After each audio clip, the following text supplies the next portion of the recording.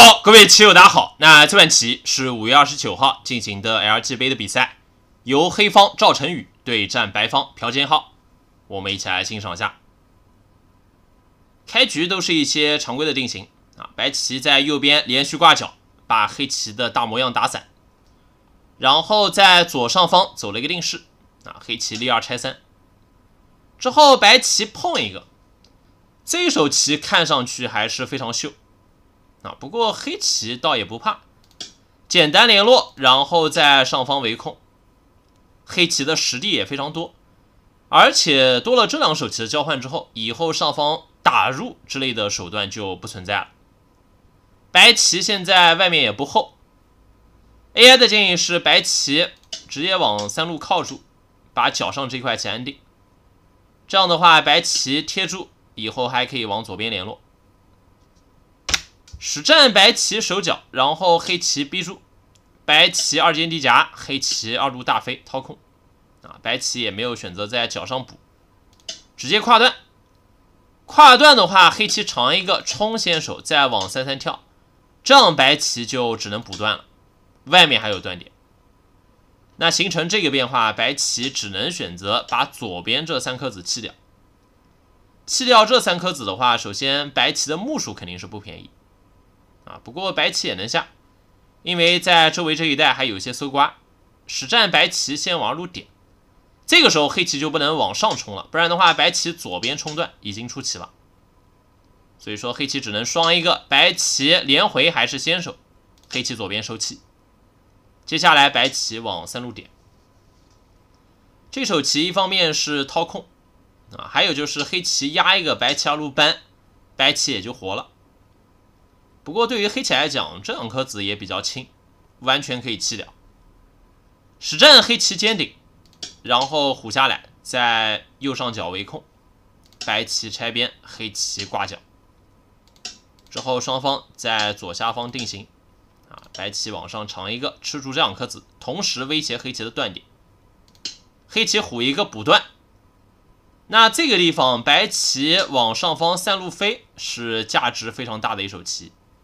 啊，还可以把黑棋分段，不过左边这两颗子就危险了，以后被黑棋正过来的话，可能会被黑棋包住。所以说白棋先跳出，黑棋往下飞。黑棋左下角这个棋棋形，左边是一个大跳，旁边是个小飞，看上去有些单薄。不过白棋也没有特别严厉的手段啊，白棋最容易想到的就是这个碰，碰完之后像这一类的扳断，把黑棋分开。不过黑棋也不怕，因为黑棋往这儿靠住也是先手，啊，靠完之后挡住，白棋搬以后，黑棋这个挤也是先手，旁边还有断打，所以说联络暂时没有问题。如果说白棋长的话，那黑棋往回联络，白棋贴住，黑棋可以断完之后弃掉这两颗子，紧住白棋气，白棋粘，黑棋就往角上拐住，啊，这里可以反吃白棋，白棋贴下来的话，黑棋往右边冲断。白棋两边棋都紧啊，所以说这个地方黑棋倒也暂时不怕。实战白棋往右边尖冲，压缩黑棋的空，黑棋跳刺。这里一方面是把这里的联络巩固，还有就是把白棋走重。那对于白棋来讲，这手棋也并不是一个绝对的先手啊，白棋可以先往右下方飞，本身就破坏黑棋下方的空。然后黑棋角上做活的话，白棋外面也就全部包扎住了，可以发展右边的大模样。左边这里黑棋冲断的话，后手吃这颗子，以后白棋往左边二路搬粘，在收官的时候还有一些搜刮，白棋也能接受。实战白棋还是补断，那黑棋靠压啊，这样的话黑棋就安定了，而且靠压完之后点三三，这里还有一通搜刮。啊，这个搬完之后爬都是黑棋的先手权利。接下来黑棋贴住，把白棋包进去。白棋冲，黑棋顶，白棋刺，然后在外面点刺，这个都是白棋的先手。那接下来白棋角上还要继续补。实战白棋断打的话就不太好了，这个地方不如直接提掉，这样白棋活干净了。断打的话，以后黑棋收官的时候还有这个翻打，提掉就度过。啊白棋的目数并不便宜，可能白棋是想瞄着上方这个冲断的问题啊，但是黑棋现在也暂时不用补。实战黑棋往右边冲，把白棋分断。这里白棋贴下去的话，虽然说也可以掏空，但是考虑到左边这块棋，白棋也没有安定啊。黑棋往中间这一带走棋，很容易形成缠绕攻击。所以说白棋还是先在角上定型，然后再往中间飞，寻求联络。黑棋虎一个，这样的话，左边这里的冲断也就补掉了，上方还有冲断啊。接下来黑棋在这儿围，当然黑棋这块空也没有完全围住啊。以后白棋如果说掏空的话，可以往三路飞。黑棋冲，白棋二路点先手，角上这颗子要爬回。黑棋虎一个，那白棋往左边顶，二路搬过，或者说上方粘连回啊，白棋肯定能走到一个。不过这样下的话，就算黑棋粘，外面黑棋就走得非常厚，以后中间这个冲断就更为严厉了。以后在这里定型，白棋除了掏空之外，也可以往这儿靠压，把外面继续走厚啊。所以说白棋想要看情况，决定这里如何定型。实战白棋往上飞，先把黑棋分段，然后黑棋直接冲断，白棋跳出，黑棋成。之后白棋下方这一块暂时不用担心。左边肯定要先出头，白棋大跳，黑棋直接冲断。虽然说黑棋上面这三颗子被白棋断开了，不过白棋外面的包围圈还是非常薄。黑棋冲的话，如果说白棋扳住也是各种断点。接下来白棋往中间跳，啊，想要形成缠绕攻击，因为黑棋中间这两颗子也不活。那黑棋现在全盘的实控还是比较领先的。所以说也有比较简明的下法，就是打吃上方这两颗子。这样的话，白棋在中间补，黑棋可以回到右边打入，这样也是黑棋优势。实战黑棋还是继续跑，那白棋靠压啊，这样的话黑棋下方的空也就全部围住了。之后白棋往右边虎一个，这手棋也并不是很好。白棋这个地方还是应该跑出上方这两颗子。这样的话，黑棋只能往左边联络，然后白棋再往右边定型。这样的话，白棋能收获的目数更多。实战白棋直接虎一个，那黑棋往左边冲，再往上冲，白棋虎一个，黑棋搬。白棋这里还是有一定的保卫，想要分段黑棋的话就更加困难了。之后白棋点刺，黑棋冲完之后断，先把上方这个断点先手补掉。白棋打吃，黑棋往中间点刺，反攻白棋这一块。接下来白棋左边提先手，黑棋补断，白棋贴住，然后黑棋往这儿碰一个，这手棋也是想要分段白棋角上这一块。白棋搬，黑棋成。接下来白棋选择穿象眼，啊，这个地方白棋也很难下。首先立下去的话，角上这块还是会被断开。AI 的建议是白棋提。提的话，黑棋往上断，关键是白棋二路爬完之后往三路点，啊，有这种手段。粘的话，这里断打，然后吃住下方这一颗子。粘在这儿的话，白棋以后可以粘，把黑棋的空打穿。实战白棋穿象眼呢，黑棋先在右边做活，啊，白棋搬，黑棋外面冲，这样的话，白棋包围圈断点非常多，也挡不住了。接下来白棋冲，黑棋断打完之后再冲出来。啊，白棋往下方点，这个时候点过来，黑棋不怕，因为右边没有提掉这颗子，黑棋的气就送出来了。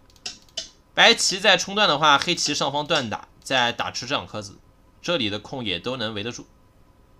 而且白棋脚上还不活，所以说接下来白棋打吃，先联络，然后断吃这颗子。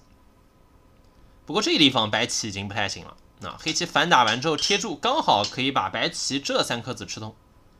跑肯定是跑不掉了啊！黑棋贴住，这样吃形成倒扑，那黑棋也就活棋了。因为白棋往二路打搜根的话，黑棋往中间虎一个。首先黑棋还可以往上出头，而且黑棋右边挡住，白棋补断，黑棋以后往二路跳也可以做眼啊。所以说黑棋这里也就不用担心了。白棋右边这一块还要继续活棋，一路搬粘做眼。黑棋在补棋之前先往上靠下去。白棋如果说冲的话，黑棋断完之后还可以二路爬，所以说白棋夹一个，黑棋再往上搬，这里也是同样的道理，白棋断，黑棋爬回，所以说白棋只有二路夹，这样的话以后黑棋左边和右边连续粘都是先手，白棋这里的目数也就非常有限了。接下来黑棋右边补断，白棋打吃完之后连回啊，黑棋上方粘，白棋先往一路搬收气，黑棋粘，白棋度过。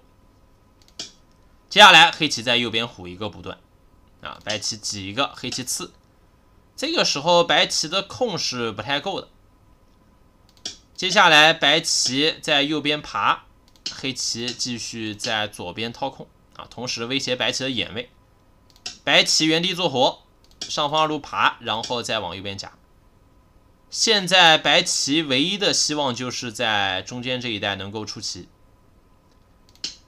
之后白棋打，黑棋粘，白棋往上跳一个，黑棋右边这块还没有完全活。但是白棋跳出的话，黑棋往中间冲完之后再一粘，白棋粘上，这里白棋气紧。接下来黑棋直接挖完之后打，然后再打吃，啊，这里就形成一个结针。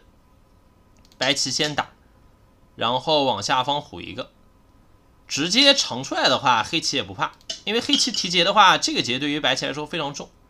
接下来黑棋一手棋就可以提通中间这五颗子啊，所以说白棋肯定要粘，黑棋可以往上方联络。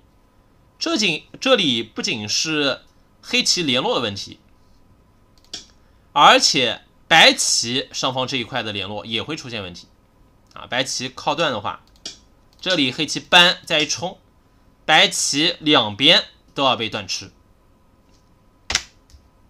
实战白棋先往下方虎，然后黑棋也没有补，直接提劫。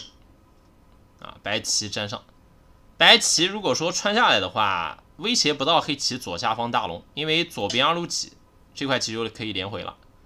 至于中间这里的劫针，白棋再提过来，黑棋大不了就往上打吃，白棋接不归。啊，黑棋还是可以全部联络。左边白棋粘长一个，黑棋粘搬的话冲，这里也断不掉，断的话吃通这一颗子，所以说黑棋都能防得住，最多也就是下方损失一些目数啊。不过白棋的空还是不太够。实战白棋粘黑棋把下方补好，白棋再往上长。刚才我们说到，如果说白棋跨断的话，黑棋搬，这里白棋的联络反而会出现问题。实战白棋就提劫，那黑棋联络啊，白棋往上。虎一个先手，再把这个劫粘住，这样的话黑棋断吃这颗子，后续简单收官的话已经没有任何变数了。黑棋先在左下方翻打，白棋还要补，然后黑棋再往上方收空，之后白棋往右上一路立啊，黑棋点完之后这里扑是为了紧气，这样的话黑棋可以先手打吃，把角控全部围牢，然后再往下方路力。那最终走到黑棋往二路粘的时候，白棋就认输了啊！这个时候白棋的空肯定是不够。那这盘棋可以说是黑棋完胜的一局。从左边两个角上的定型之后，白棋这个失控一直不乐观。之后虽然说白棋在右边这一带寻找机会啊，但是黑棋分别做活。并且把下方的空围住之后，那白棋就彻底没有翻盘的机会。好，那这盘棋也是相当的精彩，就给棋友们带到这里，希望大家看得过瘾。如果喜欢我的视频，请棋友们给我点个赞，谢谢各位的支持。我们下一期视频再见，拜拜。